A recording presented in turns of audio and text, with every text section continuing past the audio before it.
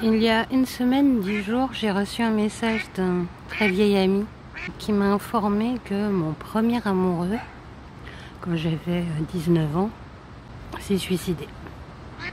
Alors bon, j'ai sans doute de la chance, hein, mais en tout cas, ce n'est que la quatrième personne que je connaisse et qui meurt.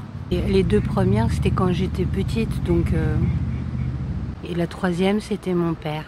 La mort de mon père, c'est quelque chose qui a été euh, profondément troublant pour euh, l'agnostique que je suis. Ça, a eu lieu en 2010, en août 2010.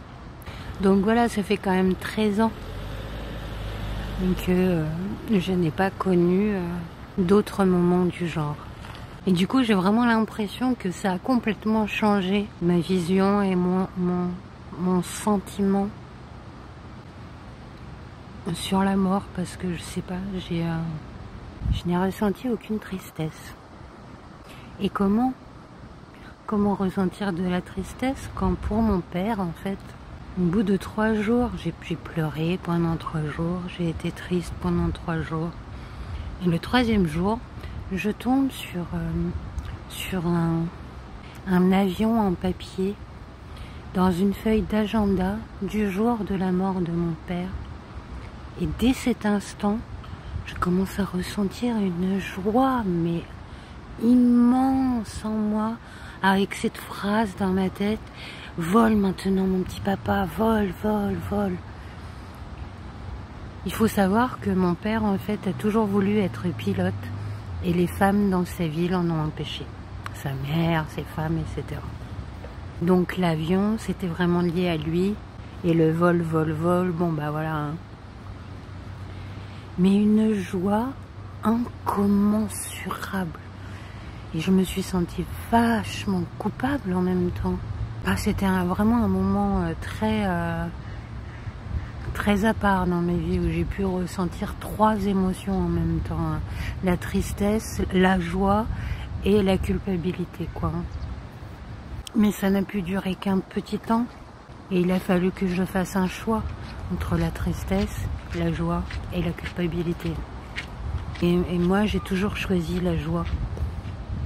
Derrière ça, ma tante, euh, la sœur de mon père, euh, m'appelle et me dit que euh, ben, deux semaines avant sa mort, il lui a dit qu'ils étaient deux, ils étaient venus le chercher et il leur a dit non, c'est pas encore le moment, je suis pas encore prêt.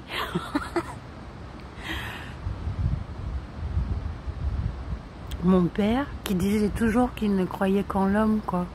Il ne croyait en rien qu'en l'homme. Alors bon, c'est vrai que ça faisait des mois qu'il était sous morphine quand même. Hein. Il, a, agonisé pendant des mois. Hein. Mais quand même. Hein. C'est euh, très clairement perturbant pour quelqu'un qui a grandi dans un monde athée. Et c'est vraiment à partir de ce moment-là, en 2010, que j'ai commencé à, me, à vraiment m'intéresser davantage aux spiritualités. Et où euh, j'ai commencé davantage à ne faire confiance qu'à mon expérience.